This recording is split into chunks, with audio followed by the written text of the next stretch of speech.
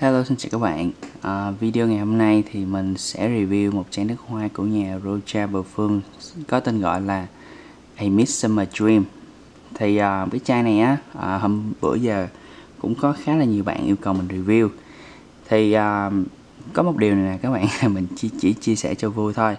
Thì thường á, nếu như mà mình bắt gặp mà khoảng chừng 5-6 người mà yêu cầu mình review một chai nào đó thì mình biết á, là một á, là mấy youtuber à, nước ngoài.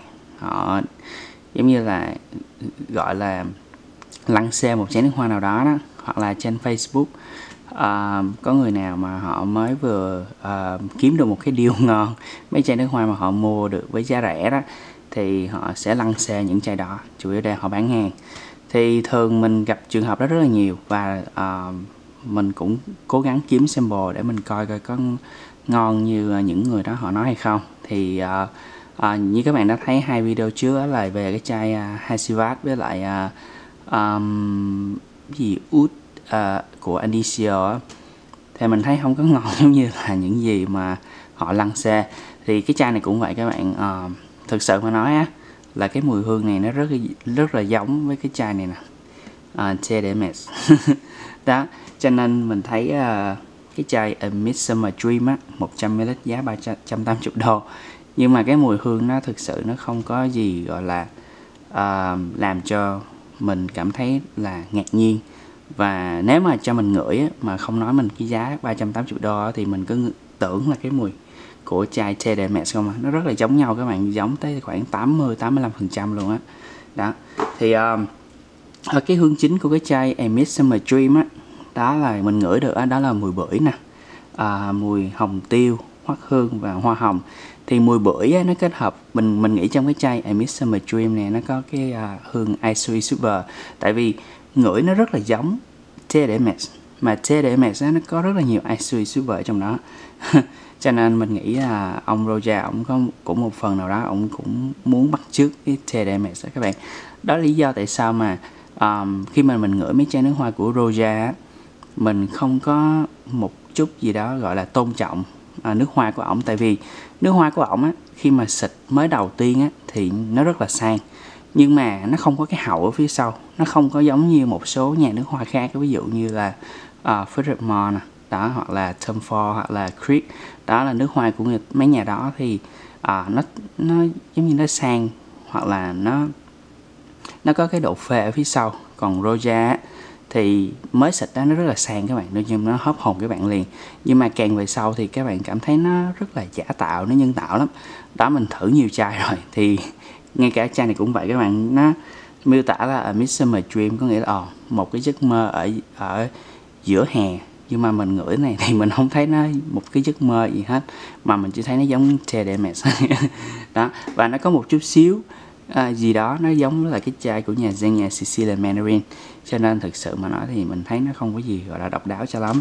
Um, còn nói về độ lưu hương á thì nó lưu hương rất là lâu các bạn hơn um, xịt trên cái cột áo á thì được 8 tiếng. Nhưng mà khi mà mình xịt lên cổ tay mình nó tối mình đi ngủ thì sáng ngủ dậy thì nó mất mùi rồi. Nó không có giống như một số chai khác mà nó bám. À, cho dù xịt à, tối lăn qua lăn lại nó bám tới sáng. Nhưng mà cái chai này thì nó bám trên da không có được lâu cho lắm um, tỏa hương á thì uh, mình nghĩ nó khoảng độ cánh tay hoặc là hơn. Tại vì nó có Isui Super cho nên nhiều khi mình ngửi á, thì mình cảm thấy nó quen với cái mùi hương đó. Còn dùng vào dịp gì á, thì mình nghĩ cái chai này các bạn có thể dùng uh, bất cứ dịp gì tại vì nó rất dễ xài giống như TDMS vậy đó. À, xịt bao nhiêu lần thì mình nghĩ các bạn xịt hai đến ba cả là đủ rồi. À, độ tuổi khuyên dùng thì mình nghĩ cái này từ 23 24 tuổi trở lên là ok rồi à, chấm điểm á, thì mức độ yêu và ghét á, thì mình chấm nó 3 trên 5 thì thực sự mình thấy cái mùi này nó bình thường thôi. Nó không có gì uh, gọi là xuất thần cho lắm. Như mình đã nói nó rất là giống TDMS cho nên mà TDMS á, thì là cái chai nước hoa mình không có thích cho lắm. Cho nên mình chấm chai này là 3 trên 5 à, điểm đặc biệt của nó thì cũng như vậy nó bắt trước uh, ờ, mẹ cho nên mình cũng chấm nó 3 trên 5 à, giá tiền của nó thì uh, mình chấm nó 2 trên 5 à, cũng cảm thấy rất là mắc. So, so với cái mùi hương của nó 380 đô nhưng mà cái mùi hương không có gì gọi là xuất sắc cho lắm. Um, lưu hương á, thì mình chấm 5 trên 5 tỏa hương thì 4 trên 5 thì tổng số điểm của chai này là 3,4 trên 5 điểm. Um, thì như mình đã nói á, là uh, mình thấy uh, nhiều người họ lăn xê chai này họ khen chai này uh, thế này thế nọ. Nhưng mà uh, nghe thì một nghe là một chuyện nhưng mà mình test lại là một chuyện khác. Thì mình gặp nhiều chai rồi. Lăn xe uh, có nhiều chai lăn xe dữ lắm. Như cái chai Osan của nhà ờ, um, Medito xài vậy đó. Rồi cũng một thời gian lăn xe dữ dội luôn.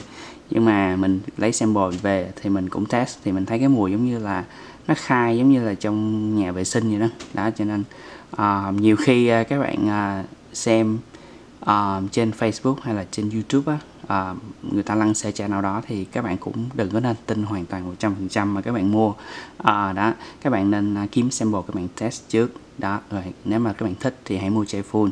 Um, đó thì mình á thì mình không có buôn bán. Đó mình đâu có nhập hàng đâu cho nên mình không có cần phải lăn xe bất cứ cái chai nước hoa nào. Mình chỉ chia sẻ cho các bạn biết là ờ à, cái chai đó mình thích xài cho nên mình mua thôi à, ngoài ra thì mình không có phải là à, dân buôn bán là nhập hàng ôm hàng kiếm những cái chai nước hoa giá rẻ. Rồi xong cái về lăn xe lên để bán hàng. Là mình không có phải như vậy. Đó mình chủ yếu là mình review cho vui vậy thôi. Đó. À, ok cảm ơn các bạn đã theo dõi video của mình. Hẹn gặp các bạn ở video tiếp theo. Chào tạm biệt.